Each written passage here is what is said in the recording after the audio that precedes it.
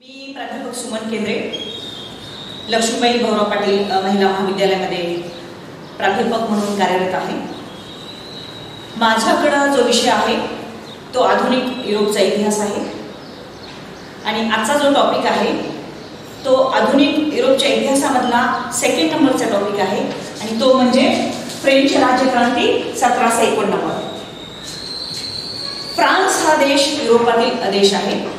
आणि या देशामध्ये जी क्रांती झाली राजाच्या विरोधात त्याला म्हणायचं फ्रान्स देशात झालेली जी क्रांती त्याला म्हणायचं फ्रेंच राजक्रांती. आणि ती झाली सतराशे एकोणनव्वद या साली.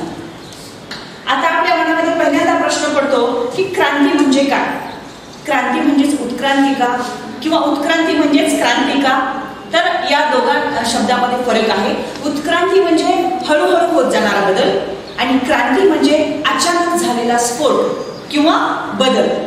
मग अचानक झालेला बदल नक्की काय असतो?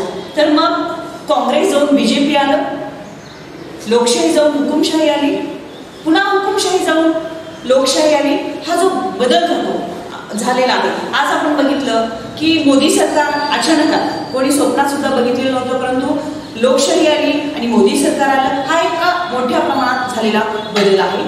तसाच प्रकारचा जो बदल झाला तो फ्रान्स या देशामध्ये झालेला आहे. आणि ती क्रांती झाली सतराशे एकोणनव्वदला. मग ती क्रांती कुठल्या घराण्याच्या विरोधात झाली? तर फ्रान्स हा जो देश आहे युरोपातला त्या देशामध्ये बुरबॉन घराणं राज्य करत होतं. मग आता तुम्ही म्हणाले बुरबॉन घराणं काय आहे? जसं आपल्या भारतामध्ये गांधी घराणं आहे नेहरू घराणं आहे की नेहरू घराणं म्हटलं की आपल्या पटकन लक्षात येतं की राजघराणं आहे. तसंच फ्रान्स घराणं हे राजघराणं आणि त्या घराण्यामध्ये लुई राजे. ते लुई या नावाने ओळखले जात होते आणि ही जी क्रांती जी झाली ती सोळाव्या लुईच्या काळामध्ये. लुई हे त्या घराण्याचं नाव आहे. सोळाव्या लुईच्या काळामध्ये ही क्रांती झाली. मग हा जो बदल झाला कशामुळे ही क्रांती घडून आली? राजाच्या विरोधात क्रांती झाली. तर त्याची काही कारणं अं, त्याच्यासाठी कारणीभूत झालेली असतात. आणि ती कारणं जर आपण बघितलं तर सामाजिक कारणामध्ये जर आपण बघितलं तर तीन कारण आपल्याला प्रामुख्याने दिसून येतात. प्रथम वर्ग द्वितीय वर्ग आणि तृतीय वर्ग. हे पहिला या ही जी समाज रचना आहे त्याच्यामध्ये सगळ्यांच्या बाबतीत समजूलपणा असला पाहिजे बॅलन्स असलं पाहिजे. परंतु फ्रान्समध्ये तसं नव्हतं. फ्रान्सची समाज रचना ही विषमतेवर आधारित होती. पहिल्या वर्गामध्ये मग कोण होतं? पहिल्या वर्गामध्ये होते अमीर उमराव. बघा नावावरूनच आपल्या लक्षात येतं की अमीर उमराव म्हणजे नक्की कोण असतील? दुसऱ्यामध्ये धर्मगुरु. आणि तिसऱ्यामध्ये सामान्य जनता. बघा क्रम पण तिसरा आहे आणि याच्यामध्ये आहे सामान्य जनता. मग हे तीन वर्ग कशी रचना होती? तर आमिर उमराव. आमिर उमराव जो आहे हा जर वर्ग या वर्गाचं जर आपल्याला वर्णन करायचं असेल तर हा वर्ग अतिशय श्रीमंत असलेला याच्यामध्ये आमिर उमराव राजा त्याचे नातेवाईक सगळे वरिष्ठ वर्गीय लोक या वर्गामध्ये त्याला म्हणायचं पहिला वर्ग. यांच्याकडं फ्रान्समध्ये जेवढी जमीन आहे समजा आपण शंभर टक्केच्या आधारावर जर आपण ढोबलमानाने जर विचार केला तर शंभर टक्केपैकी साठ टक्के याच वर्गाकडं. लक्षात येते का तुमच्या? उरले किती? चाळीस टक्के. चाळीस टक्क्यापैकी साठ इथं धर्मगुरूकडं वीस आणि इथं वीस. म्हणजे बघा ही समाज रचना कशी झालेली आहे? फ्रान्सची. हा वर्ग अतिशय कमी वर्ग आहे. संख्या जर बघितली तर इथं ऐंशी टक्के आहे आणि इथं दहा आणि इथं दहा टक्के आहे. म्हणजे आपण विचार केला तर पहिल्या दहा टक्के वर्गाकडं साठ टक्के जमीन आहे. दुसऱ्या दहा दहा टक्के वर्गाकडं वीस टक्के आहे. आणि तिसरा वर्ग जो आहे सामान्य जनांचा बहुजनांचा हा वर्ग आहे. याच्याकडे किती आहे? ऐंशी टक्के लोकसंख्या आणि त्यांच्याकडे जमीन आहे फक्त आणि फक्त वीस टक्के. आपल्या लक्षात येतं की फ्रान्सची ही अशी समाज रचना होती. मग याच्याकडं आम्ही रोमराव म्हणजे युद्ध करणारे राजाच्या जवळचे असणारे सामान्य वर्गावर कर लादणारे ज्यांना सरंजामदार म्हणतो आपण जागीरदार वतनदार तेच म्हणजे आम्ही रोमराव. आणि रोमरावांना रिटायर झाल्यानंतर पेन्शन होतं. राजाच्या जवळ सगळ्यात अगदी जवळ जाणारा माणूस कोण? खास वैशिष्ट्य असलेला माणूस कोण? तर तो आम्ही रोमराव. आणि रुग्णांना खास विशेष असे अधिकार होते. शिवाय हा वर्ग या वर्गावरती कर सुद्धा लागत असे. ग्याबल नावाचा कर सामान्य वर्गावर लागला जात असे. शिवाय सामान्य वर्गाने यांच्याच गिरणीतून पीठ दळून आणलं पाहिजे. यांच्याच भट्टीतून ब्रेड विकत घेतला पाहिजे. आणि यांच्याच भट्टी भट्टीतून दारू सुद्धा विकत घेतला म्हणजे विचार करा हे सक्तीचं होतं सगळं सामान्य जनतेला. आणि त्यांच्याकडे जमीनच होती फक्त फक्त अगदी कमी. बघतोय आपण समाजरचना आणि एवढ्यातनं यांचं सगळं सांभाळून लागायचं सामान्य वर्गाला असा हा अमीर उमरावाचा वर्ग जहागीरदाराचा वर्ग. हा जर शिकारीला निघाला तर या सामान्य वर्गाच्या शेतातून त्यांची शिकार निघायची. आणि शेताचं मोठ्यात मोठं नुकसान कोण करायचं? अमीर उमरावाचा वर्ग. आणि दुसरा वर्ग जर आपण बघितला तर दुसरा वर्ग धर्मगुरूंचा धर्मगुरू म्हटलं की आपल्या लक्षात येतं की पवित्र स्थान आहे त्यांचं. मंदिरामध्ये त्यांची जागा आहे. आणि तिथं त्यांचं काम काय आहे? तर धार्मिक सल्ला देणं पवित्र काम करणं. परंतु फ्रान्समधला धर्मगुरू हा भ्रष्टाचारी बनलेला होता. नीतिमत्ता पायदळी तुडवलेला हा वर्ग होता. आणि नंतर नंतर काय झालं? आणि या वर्गात तुम्ही लक्ष द्या या वर्गाकडे सुद्धा जमीन होती आणि ती बघितलं आपण वीस टक्के जमीन होती. आणि हा धर्मगुरु पुन्हा सामान्य वर्गावर कर लागत असेल लक्षात येते का तुमच्या. आम्ही रुग्राव कर लागत असे धर्मगुरु कर लागत असे धर्मगुरु धर्माच्या नावावरती कर लागत असे. त्याला म्हणायचं टाईत. टाईत नावाचा कर धर्मगुरु सामान्य वर्गावर म्हणजे बघा सामान्य वर्गाला कोणाकोणाची कर द्यावी लागायची? राजाचा कर आमिर उमरावाचा कर धर्मगुरूचा कर कोण द्यायचा सामान्य जनता आणि मग धर्मगुरु हा नीतीभ्रष्ट बनल्यानंतर चर्चमध्ये स्त्रियांचा प्रवेश झाला. स्त्रियांचा प्रवेश झाला आणि मग यांनी नीतिमत्ता पायदळी उडवली आणि मग व्हॉल्टेअर म्हणतो फ्रान्समध्ये हा भ्रष्टाचारी बनलेला आहे नीतिमत्ता पायदळी तुडवलेला बनलेला आहे म्हणून या धर्मगुरूला त्याची जागा दाखवून दिलेली गेली. हे व्हॉल्टेअरचं मत आहे. त्याच्यानंतर तिसरा वर्ग येतो सामान्य जनता. सामान्य जनता याच्यामध्ये कोणाकोणाचा समावेश होतो? तर तुमच्या लक्षात येईल. याच्यामध्ये शेतकरी शेतमजूर त्याच्यानंतर वकील प्राध्यापक आणि सामान्य वर्ग. बौद्धिक रित्या जो जागृत आहे अशा लोकांचा याच्यामध्ये समावेश होता. आणि तुम्ही म्हणाल यांच्या सोबती कोण यांच्याकडे विशेष हक्क नव्हते. यांचे सोबती म्हणजे दारिद्र्य. उपासमा कोणाचे सोबती होते? सामान्य परंतु यांची लोकसंख्या ऐंशी टक्के आहे आणि जमीन मात्र अतिशय कमी. या जमिनीतूनच त्यांना वरचे सगळे जे नजराना द्यावा लागायचा आणि उमरावांना नजराना द्यावा लागायचा. त्यांच्या मुलामुलींचं जर लग्न असेल तर सामान्य जनतेला तिथं हजर व्हावं लागायचं. शिवाय त्यांच्या राजवाड्यावर जाऊन दुनियानी भांडी करायची. कुणी? सामान्य जनते सामान्य जनतेने दिवसभर राबून सुद्धा त्यांना दोन वेळचं जेवण मिळत नव्हतं. हा वर्ग उपासमारीने मरणारा वर्ग होता. परंतु राजाला याच देणं घेणं नव्हतं. कारण राजा या वर्गामध्ये मिळत होता. लक्षात येते का तुमच्या? फ्रान्स मधले हे तीन वर्ग फ्रान्सची ही समाज रचना आहे. आणि म्हणून फ्रान्समध्ये क्रांती म्हणून आहे त्याच्यानंतर आपण बघूया ही झाली सामाजिक कारणे समाज कसा होता फ्रान्स मधला आता दुसरं आहे राजकीय कारणे राजकीय कारणामध्ये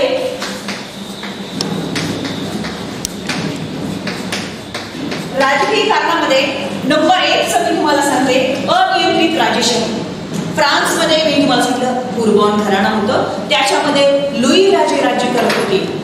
या लुई राजांचा जर आपण राज्यकारभार बघितला तर ते अनियंत्रितपणे होते. त्यांच्यावर कोणाचंही नियंत्रण नव्हतं. त्याच्यामध्ये आपल्याला अभ्यास करायचा आहे. चौदा लुई पंधरा वालोई आणि सोळा लुई कारण याच्या काळामध्ये क्रांती घडून आली. चौदा लुई कसा होता? चौदा लुई अतिशय कर्तबगार होता. आणि यांना परंतु याची वाईट सवय होती. तो जास्तीत जास्त युद्ध करत बसायचा. कारण नसताना कोणाशी युद्ध करत बसायचा. युद्ध करत बसला तर बसला परंतु पराभूत पण होऊन यायचा. पण यानं अनेक वसाहती सुद्धा फ्रान्ससाठी जिंकलेल्या होत्या. तो चौदावा लुई आणि चौदा लुईला असं वाटायचं फ्रान्स हा देश फ्रान्स हा देश सगळ्या जगामध्ये श्रीमंत वाटला पाहिजे. आणि म्हणून चौदाव्या लुईनं काय केलं? एक राजवाडा बांधला. त्याचं नाव व्हर्साईचा राजवाडा. फ्रान्सची राजधानी पॅरिस या ठिकाणी हा राजवाडा बांधला. चौदाव्या लुईनं या राजवाड्यावरती कित्येक कोटी फ्रँक्स म्हणजे रुपये खर्च केले कुणी. चौदाव्या लुईने आणि वर्साईचा राजवाडा बांधला. आणि या वर्साईच्या राजवाड्यामध्ये कोण राहत असेल? तर हा वर्ग आणि हा वर्ग. हे दोनच वर्ग राहत होते. अठरा हजार लोकसंख्या राहील. एवढा मोठा हा राजवाडा होता. त्याचे नाव होतं भरसाईचा राजवाडा. आणि चौदाव्या लुईने काही वसाहती सुद्धा फ्रान्ससाठी जिंकल्या. आणि चौ परंतु मोठ्या प्रमाणात कर्ज कुठं झालं? फ्रान्स या देशावर निर्माण झालं. कारण खर्च खूप केलं. कुणी चौदा बालवीने वर्षाचा राजवाडा बांधला. अनेक युद्ध खेळली त्याच्यामुळं जो युद्ध खर्च जो आहे तो खर्च पुन्हा लागला? सामान्य झाला त्याच्या पंधरावा लुई पंधरावा लुई कसा होता तुम्ही म्हणाल तर अतिशय दुबळा अकार्यक्षम आणि हेच कारण त्याचं वर्णन केलेलं आहे. अतिशय नालायक. कोण? पंधरावा लुई पंधरावा लुईला काहीही देणं घेणं नव्हतं. फ्रान्ससाठी मी काहीतरी चांगलं केलं पाहिजे असं त्याला वाटतही नव्हतं. आणि याच्या काळामध्ये फ्रान्सनं अनेक वसाहती गमावल्या. अनेक प्रदेश गमावले. याचा अर्थ शेजारच्या देशाने फ्रान्सच्या वसाहती जिंकल्या. पण हा अगदी दारूच्या व्यसनामध्ये ऐश आरामामध्ये कोण राहिला? पंधराव्या लढी आणि पंधराव्या लढीच्या तोंडात एक शब्द निघाला. आणि पंधराव्या लढी असं म्हणाला की माझ्यानंतर प्रलय. माझ्यानंतर प्रलय. प्रलयचा अर्थ शेवट. आणि त्याचा शब्द खरा ठरला. कधी कधी आपण बघतो आपण काहीतरी बोलतो किंवा शेजारचा माणूस काहीतरी बोलतो आणि पंधरा किंवा एका महिन्यामध्ये आपल्याला त्याची प्रसिद्धी येते आणि त्याचा शब्द खरा ठरला. आणि पंधराव्या लुईचा शब्द खरा ठरला आणि सोळावा लुई गाठीवर आला. आणि सोळाव्या लुईच्या काळामध्ये काय घडून आली? क्रांती घडून आली. फ्रेंच राजक्रांती सतराशे एकोणनव्वद. सोळावा लुई कसा सोळावा लुई सुद्धा अगदी पंधरावा लुई सारखाच या राजाचं वर्णन करताना आपल्याला काय वाटतं? की तो अतिशय कर्तबगार असला पाहिजे. वाघांची शिकार करणार असला पाहिजे. पण सोळावा लुई कसा होता? दारूमध्ये गुंग राहणारा. कुत्रे पाळणारा. कुत्रे पाळतो आपण. कुत्रे पाळणारा हा सोळावा लुई आणि कुलपे बनवण्याचा त्याला खूप छंद होता. आणि हा आपल्या पत्नीच्या आहारी गेलेला होता. आणि म्हणून म्हणून काय झालं? जनतेच्या प्रश्नाकडं दुर्लक्ष झालं. कोणाचं? सोळाव्या लुईचं आणि सोळाव्या लुईच्या काळामध्येच फ्रेंच राज्यक्रांती घडून आली. त्याच्यानंतर आपण बघतो मेरी अँटोनियत ही ह्याची पत्नी आहे. मेरी. मेरी अँटोनियत ही पत्नी आहे ही आहे ऑस्ट्रिया या देशाची. ऑस्ट्रिया या देशाची मेरी अँटोनियत आहे. कोणाची पत्नी आहे? सोळा बाजूची ही अतिशय सुंदर आहे अतिशय सुंदर त्या काळामध्ये इतिहासकारांनीचं वर्णन केलेलं आहे अतिशय सुंदर मेरी अँटोनियन पण जेवढी सुंदर तेवढीच ती घमेंडी होती आणि पैशाची उधळपट्टी करणारी असं तिचं वर्णन आहे तिच्या सेवेसाठी आणि ती कुठं जात असेल मी आताच तुम्हाला सांगितलं वरसायचा राजवाडा बांधलेला होता आणि या वर्साईच्या राजवाड्यामध्ये कोण राहायची मेरी अँटोनियन आणि एवढा खर्च करायची ती तिच्या सेवेसाठी पाच से फाईव्ह झिरो झिरो दासी होत्या तिची सेवा करण्यासाठी. आणि एक तर फ्रान्सवर एवढं मोठं कर्ज झालेलं. तीनशे कोटी फ्रान्स एवढं मोठं कर्ज फ्रान्सवर झालं असताना राणीनं एकही पैशाची बचत केली नाही. उलट राणीचा खर्च वाढतच होता. आपल्याला माहिती आहे दुष्काळ पडला की घर चालवणं फार अवघड जातं. आणि त्याच्यामध्ये बारा महिन्याचं एक वर्ष असतो. आणि त्या बारा महिन्यामध्ये समजा धोंड्याचा महिना आला तर आपल्याला वाटतं दुष्काळात धोंड्याचा महिना एक तेरावा महिना. असंच झालं. फ्रान्सवर एवढं मोठं कर्ज आधीच निर्माण झालं. आणि त्याच्यामध्ये राणीचं आगमन झालं आणि राणीच्या खर्चानं फ्रान्सची तिजोरी अगदी वाजायला लागली खणखणाट व्हायला लागला. आणि म्हणून या राणीचं वर्णन केलं जातं तुटीची राणी. तुटीची राणी याचा अर्थ पैशामध्ये तूट यायला आणि ही मेरी अँटोनिया त्याच्यानंतर सत्तेचं केंद्रीकरण. फ्रान्स या देशाचा जो राज्यकारभार आहे खरं पाहता याचं विभाजन झालं पाहिजे पण विभाजन झालेलं नव्हतं. आणि सगळी सूत्र कुणाच्या हातात होती? सोळा व्हॅल्यू हातामध्ये होती. आणि सोळा व्हॅल्यू सुद्धा कोणाच्या आहारी गेलेला? पत्नीच्या आहारी गेलेला. आणि म्हणून सगळे निर्णय तो एकटाच घेऊ शकत नव्हता. याच्यामुळं काय व्हायला लागलं? निर्णय घ्यायला उशीर व्हायला लागला. आणि सुधारणेकडं दुर्लक्ष झालं. त्याच्यानंतर कायदा व न्याय व्यवस्था फ्रान्समधील कायदा कसा होता? बघा. सोळावा लुई जर दारूच्या नशेमध्ये मग्न होणार असेल तर कायदा कसा असेल? कायदा आणि न्याय व्यवस्था याचा जर विचार केला तर फ्रान्सची न्याय व्यवस्था आंधळी होती आणि कायदा हा होता. जर सामान्य वर्गांना कुठला गुन्हा केला असेल तर त्याला शिक्षा कशी दिली जायची? त्याचे हळे मोडले जायचे. त्याच्या अंगावरनं बैलगाडी घातली जायची. जीभ छाटली जायची. आणि ही शिक्षा फक्त कुणाला आणि कुणाला? तिसऱ्या वर्गात. कारण यांना विचारणारा यांचा वाली कोणीच नव्हता. आणि म्हणून शिक्षा फक्त कोणाला व्हायची? सामान्य वर्गाला. अशी ही न्याय व्यवस्था आणि कायदे पद्धती कुठं होती? फ्रान्समध्ये. आणि एक कायदा होता. रोमन कायदा लॅटिन कायदा फ्रेंच कायदा. म्हणजे जनतेला समजतच नव्हतं की कुठल्या कायद्यामध्ये आम्हाला न्याय मिळवायचा आहे. अशी न्याय व्यवस्था होती. त्याच्यानंतर बघा प्रातिनिधिक सभेचा दुबळेपणा प्रातिनिधिक सभा प्रातिनिधिक सभा. आता हे प्रातिनिधिक सभा काय आहे? आपल्याकडं लोकसभा आहे राज्यसभा आहे आपला प्रतिनिधी निवडून जातो. राजा की प्रश्न मांडण्यासाठी फ्रान्समध्ये सुद्धा एक प्रातिनिधिक सभा होती. पण ही सभा अगदी दुबळी होती. यांच्याकडं कसलेही हक्क नव्हते. सगळे निर्णय कोण घेत असे? राजा घेत असे.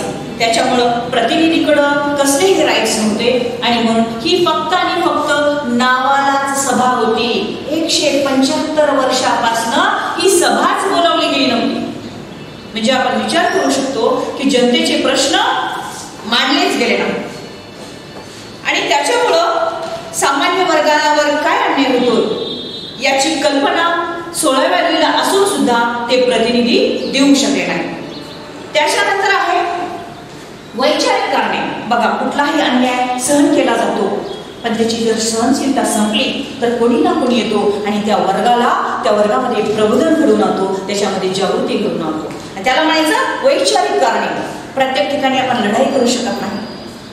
विचारानं सुद्धा माणूस जागृत होऊ शकतो आणि क्रांती होऊ शकते. तेच दाखवून दिलं फ्रान्समधल्या तीन समाज सुधारक आणि अनेक समाज सुधारक होऊन गेले. परंतु ते सगळं आपल्याला इथं बघणं शक्य नाही. म्हणून आपण तीन विचारवंताचा वैचारिक बौद्धिकरित्या जो जागृत वर्ग आहे त्यांचा आपण विचार करूया तिथं. त्याच्यामध्ये मॉन्टेस्क्यू आहे. मॉन्टेस्क्यू हा एक विचारवंत आहे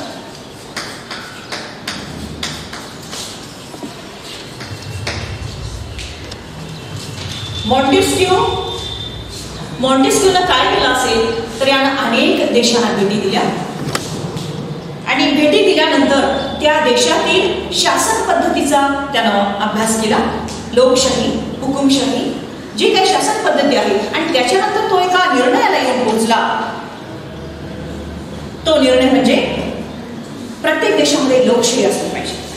आणि म्हणून मॉन्टेस्क्यूनं एक ग्रंथ लिहिला. The spirit of the laws आणि या ग्रंथामध्ये मॉन्टेस्क्यूनं सत्ता विभाजनाचा सिद्धांत मांडला. सत्ता विभाजन. बघा चौदाव्या लुईचं काय मत होतं? चौदावा लुई असं म्हणायचा मी म्हणजे राज्य मी म्हणजे कायदा आणि मी म्हणजे ईश्वराचा प्रतिनिधी. आणि म्हणून सत्तेचं केंद्रीकरण केलेलं होतं. परंतु मॉन्टेस्क्यूनं असा विचार मांडला की सत्तेचं विभाजन झालं पाहिजे. सत्ता एकाच्याच हातात नको.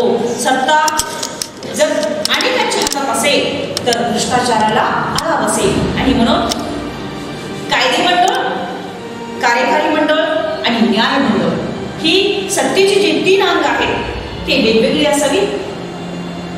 ही जर तीन क्षेत्र जर वेगळी असतील तर न्याय मिळेल सामान्य वर्गाला किंवा अनेकांना आणि भ्रष्टाचाराला आळा बसेल असं मॉन्टेस्क्यूचं मत होतं. मॉन्टेस्क्यूनं जो ग्रंथ लिहिला the spirit of the laws याच्यामुळं फ्रान्समधील जनता बौद्धिकरित्या जागृत झाली आणि क्रांतीकडे त्यांचे विचार करू लागले. त्याच्यानंतर दुसरा विचारवंत आहे व्हॉल्टिअर दुसरा विचारवंत आहे व्हॉल्टिअर व्हॉल्टिअरचा जर आपण विचार केला व्हॉल्टियरचा जर विचार आपण केला तर हा विचारवंत अष्टपैल विचारवंत होता तलवारीप्रमाणे लेखणी चालविणारा तपस्वी लेखक होता.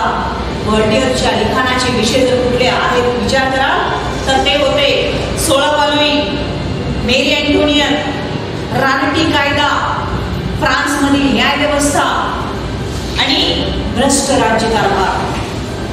एवढे जहाज लेखन या व्हॉल्टियरनं केलं की व्हॉल्टियरला दोन वेळा तुरुंगवास भोगावा लागला.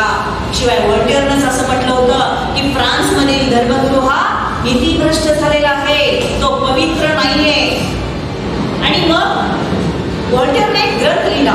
त्याचं नाव कॅन्डिड कॅन्डिड हा ग्रंथ एवढा प्रसिद्ध झाला की या कॅन्डिड ग्रंथाच्या अनेक प्रती विकल्या गेल्या. आणि म्हणून व्हॉल्टियरला किंग व्हॉल्टियर असं ओळखण्यात येऊ लागलं. व्हॉल्टियरनं असं सांगितलं राज्य पद्धत कुठली असावी? लोकशाही असावी की हुकुमशाही असावी? याबद्दल व्हॉल्टियर असं म्हणतो. माझा समज आहे की लोकशाहीपेक्षा जनकल्याणकारी हुकुमशाही असावी. शंभर मुद्रांपेक्षा एका सिंहाचं राज्य केव्हाच श्रेष्ठ असं वॉल्टियर वॉल्टियरच्या या लिखाणामुळं कॅन्डिड हा ग्रंथ अनेकांनी वाचला आणि या कॅन्डिड ग्रंथामुळं अनेक तरुणांच्या आवड्या या ग्रंथावर पडल्या आणि फ्रान्समधील सामान्य वर्ग जागृत झाला आणि सतराशे एकोणनव्वदला फ्रेंच फ्रान्स या देशात सोळाव्या लुईच्या काळात सतराशे एकोणनव्वदमध्ये फ्रेंच राजक्रांती घडून आली. तिसरा एक लेखक आहे त्याचे नाव रुसो. रुसो? रुसोनं एक ग्रंथ लिहिला त्याचं नाव सामाजिक करार सोशल कॉन्ट्रॅक्ट रुसो असं म्हणतो चौदाव्या महिन्या असं म्हटलं होतं की मी म्हणजे राज्य मी म्हणजे ईश्वराचा प्रतिनिधी. पण रुसो म्हणतो कुठलाही लुई राजा ईश्वराचा प्रतिनिधी नाहीये. त्याची निर्मिती समाजानं एकत्र येऊन केलेली आहे. समाजाच्या रक्षणासाठी एक राजा असावा जो जनतेचं कल्याण साधेल. आणि म्हणून सगळ्या समूहानं समाजानं मिळून राजाची निर्मिती केलेली आहे. हा राजा जर जनतेचं कल्याण साधत नसेल जनतेचं हित साधत नसेल तर अशा राजाला खाली खेचण्याचा अधिकार कोणाला आहे?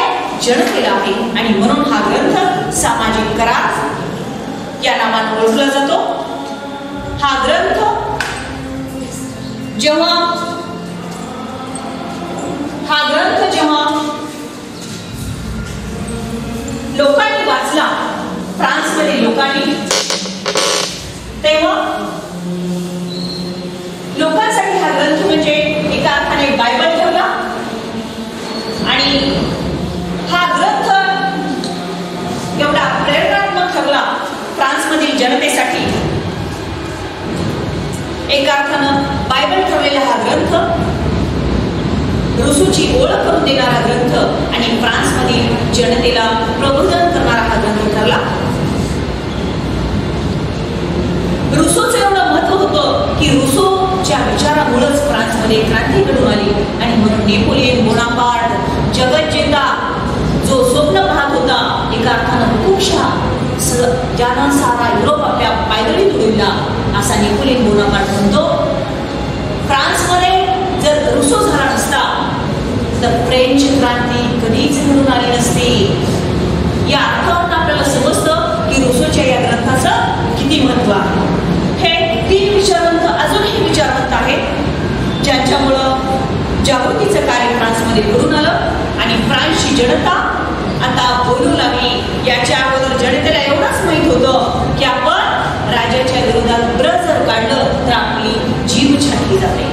परंतु आता जनता बौद्धिकरित्या जागृत झाली आणि त्यांना जागृत करण्याचं काम या विचारवंतांनी केलं. आणि मग शेवटची दोन कारणं याला कारणीभूत ठरतात. अमेरिकन स्वातंत्र्य युद्ध बघा अमेरिका आपल्या स्वातंत्र्यासाठी युद्ध करत होती. फ्रान्सला काहीही देणं घेणं नव्हतं. परंतु सोळाव्या मानवीला असं वाटलं की आपल्या आपण अमेरिकेला मदत करावी आणि लाफायच्या नेतृत्वाखाली फार मोठं सैन्य देऊन अमेरिकेला मदत केली गेली. अमेरिकेला स्वातंत्र्य मिळालं लोकशाही आली तिथं. इंग्लंडच्या विरोधात.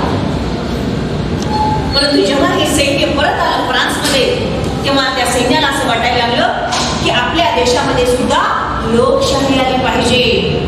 आणि म्हणून हे विचार त्यांनी आपल्या समाजासमोर मांडले.